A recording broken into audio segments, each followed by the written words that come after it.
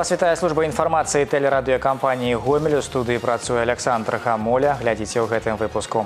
Кожнае пытанне на асабістым кантролі. Старшыня гомельскага былвыканкама Геннадзь Салавей сёння правёў прыём грамадзяны прамую тэлефонную лінію ў жыткавічах. Развіццё партнёрскіх сувязяў у Гомелі рыхтуюцца да правядзення бізнес-дзён. Дарагое слово мама. Сёння ў Гомелі прайшло фінальнае мерапрыемства акцыі, якая некалькі дзён падарожнічала па рэгіёне. Беларускія напевы у цэнтральнай гарадской бібліятэцы імя Герцена адкрылася выстава дэкаратыўна-прыкладной творчасці. А зараз аб гэтым і іншым больш падрабязна.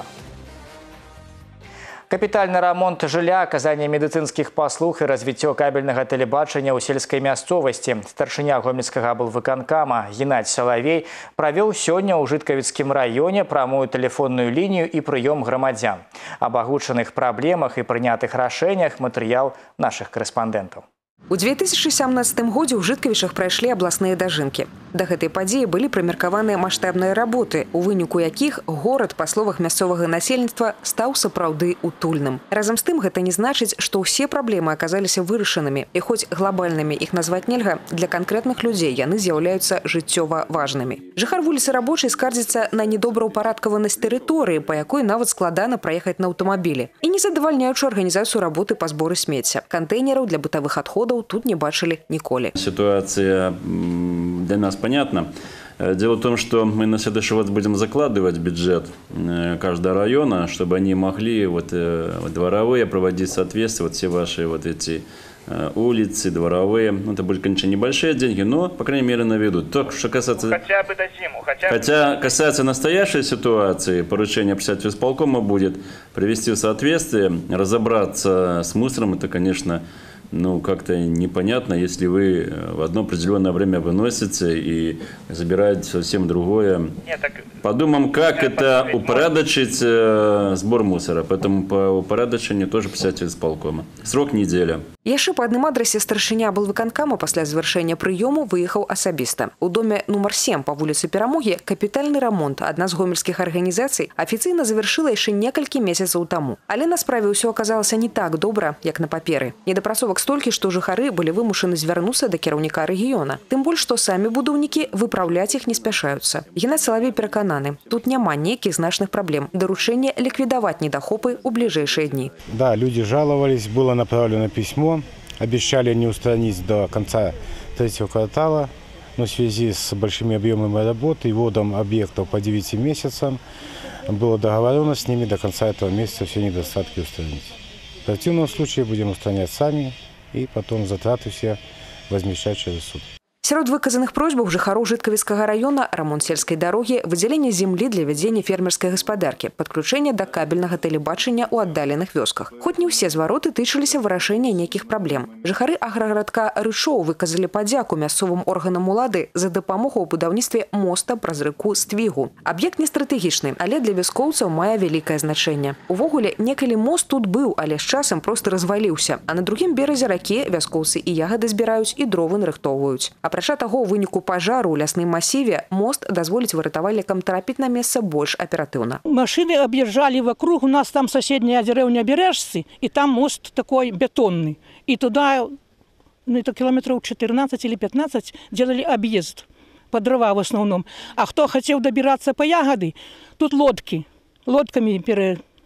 Считайте, ну, перемяшчались лодками на ту сторону переязджалі а потом обратно переязджалі лодкой вяскоўцы кажуць што для іх гэта было будаўніцтва стагоддзя яны нават сабралі палову неабходнай сумы непасрэдна ўзвядзеннем моста займаліся беларускія ваенныя пры дапамозе мясцовага лясгаса і прадпрымальнікаў новы мост які стаў сапраўды народным адкрылі на мінулым тыдні і яшчэ одно пытанне якое прагучала падчас прыёму жыткаўчан пра соладкавання старшыня был выканкама перакананы дастойныя умовы для комфортнага жыцця неабходна ствараць непасрэдна па месцы жыхарства мноства людзей. Тут шмат залежыць ад мясцовага кіраўніцтва і ініцыятывы самого насельніцтва, але і ў жыткавіцкім раёне сёння можна знайсці станоўчыя прыклады. У вас есть пример сегодня даже у частного предприятия, да, в Шуруба. Зарплата более тысячи рублей. Но там работать надо. Конечно. Второй вопрос. У нас есть предприятие, которое вот возьмем хозяйство. Вот мы сейчас в Житковичах строим э, Ферму в ферму в Дьяковичах. Да? Возьмем Белев тот самый. А почему? Разве почему вот э, один может хорошо, эффективно работать по-хозяйски? Конечно, от руководителя зависит. И вы знаете, сегодня в колхозах можно зарабатывать деньги. Олег Сенцюров, Ольга Коновалова, Валерий Гапанько, телерадиокомпания «Гомель», Житковицкий район. Завод сульфатной беленой целлюлозы на Светлагорскім ЦКК павінен быць уведзены ў эксплуатацыю да 1 снежня. Аб гэтым сёння паведаміў журналістам старшыня канцэрна «Беллесбумпрам» Юрый Назараў. Па яго словах, на дадзены момант забяспечана стабільная работа завода на ўзроўні 700 тонн за суткі. Запрошаны замежныя партнёры, якія даюць рэкамендацыі па паэтапным выхадзе на праектную магутнасць. Як паведамлялася, Дзяржпрамнагляд выдаў дазвол на адкрыццё завода сульфатнай беленай цэлюлозы на Светлагорскім ЦКК. Заключэнне гомельскага абласнога ўправлення пацвярджае яго адпаведнасць зацверджанай праектнай дакументацыі, патрабаванням бяспекі і эксплуатацыйнай надзейнасці. На заводе штогод плануецца выпускаць 400 тысяч тонн сульфатнай беленай цэлюлозы.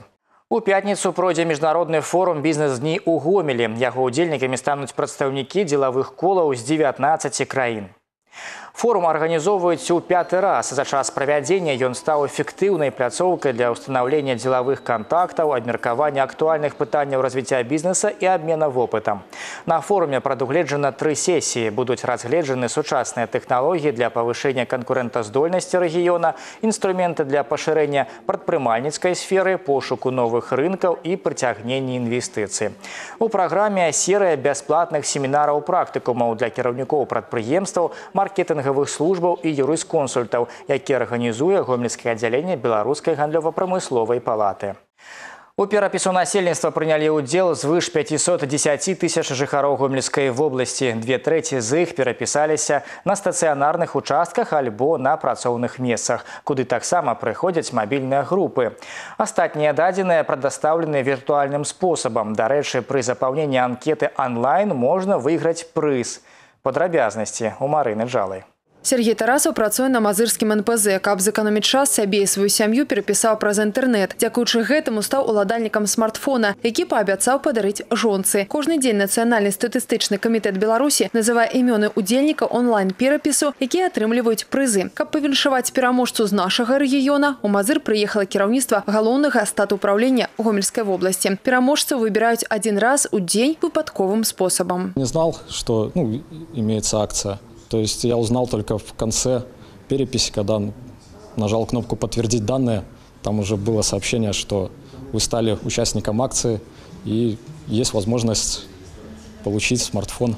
З панядзелка 21 кастрычніка перапісчыкі пачнуць прыходзіць дадому. Стацыянарныя участкі будуць працаваць да 30 кастрычніка ўключна. Да канца інтэрнэт-перапісу засталося ўсяго два дні. Апошняя дата 18 кастрычніка. Аб праблемах, якія ўзнікаюць падчас перапісной кампаніі ў тых, хто запаўняе анкету онлайн, нашаму тэлеканалу расказалі ў галоўным статуправленні в области. Есть определенные проблемы, да, э, человек не может зайти, потому что его данных нет в этой межбанковской системе идентификации либо э, эти данные устарели, да, то есть э, система построена там таким образом, что если человек в течение трех лет не обращался в банк, то как бы считается, что его данные устарели, и эта система межбанковская как бы не пропускает его на сайт переписи, просит человека перейти в банк, чтобы обновить данные. Обязательно приходить в банк, чтобы обновить данные? Либо можно переписаться, а потом уже а, обновить? Как вот? А никак вы не перепишетесь, не, не посетив банк лично с паспортом. Які спосаб перапісу больш даспадобы насельніцтву, наша здымачная брыгада даведалася запытання, праведзенага на вуліцах Гомеля. Буду ждать, когда придут домой. Почему? Ну, хочется пообщаться как-то вот с молодыми людьми, с девушками. На стационарный. Почему не домой? Не знаю. Пройтись. Мне так удобно. Нет, еще не прошел. Каким образом будете проходить? Каким способом? Я работаю в библиотечной системе. Вот. И у нас на проспекте э, Реческом, да, идет перепись. Я там, можно сказать, я там прописан, я там пройду. Дома будете ждать? Скорее всего, так. По интернету как-то не получается, все нету времени. Человек придет лучше поговорить с живым человеком. Наверное, через интернет. Ну, вы не забывайте, что два дня осталось. Будем стараться. Каким способом? Интернет. Все получилось? Да. Нет, еще не успела, только приехала. Ясно. Каким способом будете проходить? Через интернет, на участок пойдете или домой будете ждать? Еще пока не знаю. Ну, домой навряд ли, скорее всего, интернет. З любымі пытаннямі наконт перапісу можна звяртацца на гарачую лінію галоўнага статуправлення гомельскай вобласці. Яе нумар 21 1003. Яна працуе штодзень з 9 до 21 часу. Альбо тэлефанаваць у кол-цэнтр нацыянальнага статкамітэта па нумары 8 801 100 31 31. Марына Джала і Грамарышченка, тэлерадыёкампанія Гомель пры падтрымцы тэлеканала Мазыр. Дарагое слово мама сёння ў гомелі прайшло фінальнае мерапрыемства акцыі якая некалькі дзён падарожнічала па рэгіёне яе ў дзевяты раз правяло гомельскае абласное аддзяленне беларускага фонду міру на сённяшняе свята запрасілі каля 80 жанчын якіх узнагароджвалі ў сямі намінацыях усяго ва ўрачыстасцях прынялі ўдзел каля 200 маці з розных куткоў вобласці мама и родина очень похожи мама красивая родина тоже вы присмотритесь у мамы глаза цвета такого же, как небеса. Мамины волосы цвета пшеницы, что на бескрайних полях колосится. Мамины руки теплые и нежны, напоминают луч солнца они Маці гэта пяшчота і клопат, гэта бяссонныя ночы і радасць ад першай усмешкі. Нездарма кажуць, што спакой жанчыны заканчваецца тады, калі яна ўпершыню бярэ на рукі сваё дзіця. Сапраўдная маці аберагае дзяцей на працягу ўсяго жыцця. І нават тады, калі яны самі становяцца бацькамі. Няма межаў для мацярынскай любові. Менавіта такія жанчыны, якія мацярынскі клопат сумяшчаюць з працай, сабраліся ў зале гомельскага абласнога палаца творчасці дзяцей і моладзі. Я пенсионерка и работаю социальным работником. Поэтому вырваться где-то куда-то очень сложно нам. Вот. Не часто, конечно, выпадает такое. Так что спасибо за это, что вот нас сюда пригласили. Слова мама не мае і тэрытарыяльных межаў. Яно не толькі на многіх мовах гучыць падобна, але і здольна аб'яднаць народы розных краін. Я родилась в России, и даже маленький секрет скажу, у меня отец был первым организатором монумента дружбы. И я в комсомоле тоже принимала участие. Это село Новая Юрка Чебрянской области. И там у нас не было границ, не было разницы. Россияне Украины и Белоруссия дружили все годы. И для меня это, видимо, с генами уже. И когда была вчера перепись, у меня вопрос задали. Вы себя ощущаете кем? Россиянкой или белорусской? Я говорю, 50 на 50. Я уже не знаю, кто. Даже больше, видимо, живу в Беларуси, больше, видимо, белорусской. Акцыя дарагое слова мама фонд міра праводзіць у дзевяты раз. За гэты час мерапрыемствы прайшлі ў 19 раёнах. У іх паўдзельнічалі каля 2600 маці. Гэта жанчыны, якія ўнеслі ўклад у сацыяльна-эканамічнае і культурнае развіццё рэгіёна, кіраўнікі, аграры, маладыя і шматдзетныя маці, а таксама жанчыны, якія выхоўваюць прыёмных дзяцей. Мать как никто за то, чтобы был мир, дружба. Потому что если что-то случится, кто прежде всего пропускает через душу, через сердце? Мать, потому что выбить или сын, или муж, или так далее. Поэтому именно матеря за то, чтобы был мир, дружба между народными странами. Несмотря, кто они по национальности. А главное было согласие. Мерапрыемствы з нагоды дня маці завяршаюцца, але маці сама павінна быць святам, чалавекам, побач за якім больш шчаслівымі і ўпэўненымі становяцца дзеці. А дзеці хай ніколі не забываюць тых, хто калыхаў іх немаўлятамі і моцна прыціскаў да свайго сэрца. І хто ў думках заўсёды трымае за руку сваё роднае дзіця. Марына Джалая, Святлана Князева, Ігар Марышчынка, тэлерадыёкампанія Гомель. Сілавы экстрым набывае ўсё большую папулярнасць. Гарадскія святы не абыходзяцца без конкурсаў, дзе выбіраюць самага моцнага чалавека. Да гэтага часу на такіх спаборніцтвах сваю моц уяўлялі выключна мужчыны. Аднак сёння дайшла чарга і да жанчын. Адна з першых стронг-вумен Беларусі будучы ляснік Крысціна Марозава з Лельчыцкага района. На рахунку студэнткі Гомельскага дзяржаўнага універсітэта імя Францыска Скарыны рэкорды ў 70, 115 і 160 кілаграмаў. Дзяўчына родам з аграгарадка Стадолічы. Калі паступіла ў гомельскую ВНУ, стала трэніравацца ў дзюшар Гомсельмаш. Аднойчы прачытала, што ў Гомелі праводзяцца спаборніцтвы па сілавым экстрыме. Звязалася з арганізатарамі турніру Бізон Стронгмен і Стронгвумен. Першы раз выступіла сёлета ў ліпені, выпрабавальна. На спаборніцтве спаборніцтвах яна, дарэчы, была адзінай дзяўчынай. Крысціна 14 разоў перакуліла 160-кілаграмовую шыну за 90 секунд. Я не могу сказать что-то такое, что-то необычное. Согласна, тяжело, нужно много работать, нужно упорно работать, но Э, Это такой же вид спорта, как и другие. Если вы чувствуете, что это ваше, если вы хотите это попробовать, почему нет? Если я прихожу, допустим, в зал, я чувствую, что это мое. Если я не похожу, допустим, неделю-две на тренировки, я чувствую, что что-то не так, чего-то не хватает, пускай бы какая бы хорошая полноценная жизнь ни была. У верасні Крысціна зноў уключылася ў экстрэмальныя старты турніру бізон стронгмен і стронгвумен, які праходзіў у гомелі пры падтрымцы гарадской арганізацыі БРСМ. Тут яе рэкорд падымання і перанос каменя ў 70 кілаграмаў, з якім дзяўчына пераадолела 68 з паловай метраў. Але сілавы экстрым гэта ўсё ж такі хобі, асноўная цяжкая атлетыка. Девушкам немножко легче. У нас штанги, они, естественно, не поднимают как парни, у них своя подготовка, своя программа. Естественно, нагрузки не такие поначалу, но потом они немножко крепче становятся. И уже в силу своих возможностей каждая девушка поднимает по-своему. Насколько тяжело работать с Кристиной? Можно одним словом легко. Человек трудолюбивый, работает, знает, чего он хочет, вот, стремится выступать везде, где возможно выступить. У планах на будучыню у Крысціны апрабаваць буксіроўку аўтамабіля, аднак на першым месцы вучоба і цяжкая атлетыка. Вераніка Хамзюкова, Ігор Марышченко, тэлерадыёкампанія Гомель. Беларускія напевы у цэнтральнай гарадской бібліятэцы імя Герцена адкрылася выстава дэкаратыўна-прыкладной творчасці майстра Аллы Банкрашковай. Яна прысвечана году малой радзімы. У экспазіцыі прадстаўлена 15 пано з саломкі, кукурузы, аб'ёмныя фігуры лялек і жывёл. Нацыянальны каларыт таксама адлюстроўваюць вырабы з лёну і тэкстылю. Кожны з іх унікальнае аўтарскае тварэнне, у якім натуральныя матэрыялы ператвараюцца ў дзіўныя вобразы расліннага і жывёльнага свету і складаюць беларускія арнаменты. Прадстаўленыя на выставе творы былі зроблены за год. Кукуруза. Мне очень нравится этот материал, это очень теплый материал. Он, правда, очень хрупкий, но э, в домах, в квартирах он, эти картины становятся очень легкими. И они придают комнате такую вот легкость, воздушность. А вот тем более это материалы натуральные, солома натуральный материал.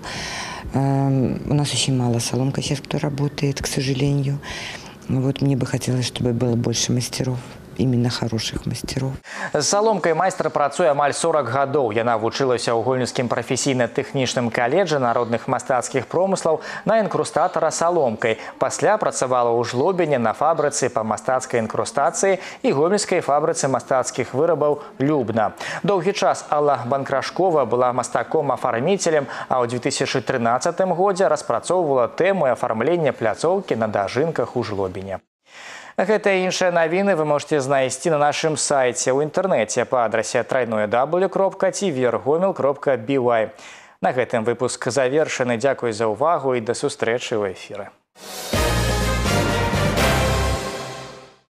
Де-факто на телеканале «Беларусь-4» в студии Руслан Габрилев. Здравствуйте. Набрала случайный номер и сообщила о бомбе. Сегодня милиция эвакуировала 50 человек из многоэтажки на улице Ефремова в областном центре.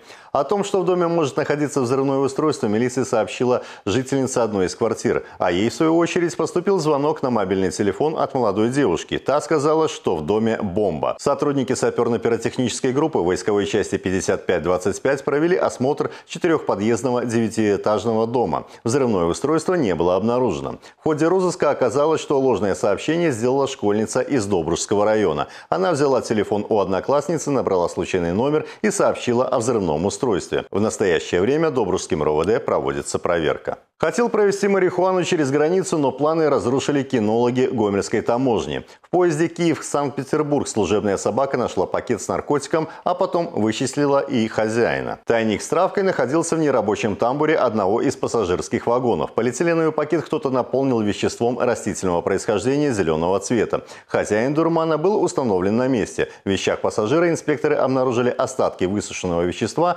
схожего с содержимым пакета. Дальше пассажир не поехал и был задержан сотрудниками Гомельской таможни. Экспертиза показала, что найденная травка – марихуана. Для 29-летнего гражданина Украины путешествие закончилось уголовным делом. Всего с начала 2019 года белорусскими таможенниками возбуждено 141 уголовное дело по факту незаконного перемещения через таможенную границу наркотиков и психотропов. Из незаконного оборота изъято более 623 килограмм наркотиков и более 8 тысяч таблеток, содержащих в своем составе психотропы. Под Гомелем водитель едва не сбил лосиху с лосятами. Это произошло еще в начале октября, но видео попало в сеть накануне. Автолюбитель ехал по трассе в темное время суток и неожиданно путь ему преградили трое лосей. От наезда мужчину спасла только быстрая реакция. Около деревни Жертв Светлогорского района легковушка столкнулась с грузовиком и перевернулась. Водитель автомобиля «Опель» стал обгонять многотонный МАЗ, а тот, в свою очередь, решил повернуть налево. В итоге произошло столкновение, из-за которого легковая машина отправилась в кювет и перевернулась. С незначительными травмами водитель был госпитализирован. Не остались равнодушными. В речце инспекторы ГАИ оказали помощь автомобилисту, в машине которого случилась поломка. Во время несения службы стражи дорог обратили внимание на автомобиль «Фиат», колесо которого имело неестественное положение. Сотрудники ГАИ обозначили машину, стоящую на проезжей части конусами, и достали из багажника домкрат. С его помощью «Фиат» удалось приподнять и устранить неисправность. Сотрудники госавтоинспекции всегда стараются прийти на помощь людям, которые оказались в затруднительной ситуации, скажем так, на дороге. Это не только водители автомобилей, неважно, это грузовой автомобиль, либо это легковой автомобиль. Также оказывается помощь гражданам. Был случай также, когда оказали помощь человеку с ограниченными возможностями, который не мог переехать дорогу. Наши сотрудники очень быстро среагировали и помогли человеку добраться до нужного, скажем так, места. Дорогие иномарки горят не хуже дешевых. В Светлогорске произошло самовозгорание автомобиля Infiniti FX35. Владелец смог сбить пламя до приезда пожарных. В результате поврежден моторный отсек легковушки. Ущерб подсчитывается, пострадавших нет. Вероятная причина – замыкание электропроводки. Одного хотел подарить, другого продать. Жлобинская милиция задержала вора плюшевых медведей. 23-летний парень проник в частный дом жителя райцентра и похитил оттуда две игрушки. Приметы подозреваемого сообщили соседи, которые накануне кражи видели, как молодой человек крутился возле частной швейной мастерской. Милиция вышла на след похитителя плюшевых медведей уже на следующий день. Ни подарить, ни продать игрушки парень не успел. Однако стоимость косолапых оказалась достаточной для возбуждения уголовного дела по статье кража. На сегодня все. Я Руслан Габрилев. Благодарю за внимание. До свидания. Эфир телеканала «Беларусь-4 Гомель» продолжают новости спорта. В студии Михаил Садовский. Здравствуйте. В Минске проходит республиканский турнир по хоккею на траве «Травушка». В соревнованиях участвуют юноши и девушки 2006 года рождения и младше. Всего за победу борется по 7 команд юношей и девушек. По результатам первого игрового дня мужская дружина Гомельской с дюшор номер один уступила хоккеистам команд «Замосточье-1» со счетом 2-5 и «Замосточье-2» со счетом 2-3. Женская команда проиграла Гродненскому «Ритмику» 0-2, но победила Аршанский темп 2 2-0. Завтра в Гомеле стартуют открытые республиканские соревнования по конному троеборью. Параллельно в областном центре будет проходить и спартакиада детско-юношеских школ по конному двоеборью. Соревнования пройдут в два дня. 18 октября в 8.30 начнется манежная езда, а в 14.00 стартует конкурс до 110 сантиметров. 19 октября в 9.00 начнется конкурс до 115 сантиметров. В 12.00 стартует кросс, по окончанию которого наградят победителей и призеров. Гомельчанин Никита Каханский занял первое место на международном шахматном турнире в молдавском городе Унгены. Ученик 5 В-класса Гомельской гимназии номер 51 набрал 8 очков из 9 возможных. В Мозыре проходит первый открытый турнир по армрестлингу изо всех сил. Участие в нем принимают более 100 спортсменов в следующих весовых категориях мужчины от 63 до 95 и более 95 килограммов женщины 60 и более килограммов. Приглашение на этот турнир приняли спортсмены со всей республики. На соревнованиях разыграют 27 кубков и 54 медали. На этом пока все. С новостями спорта вас знакомил Михаил Садовский. Оставайтесь на Беларусь 4.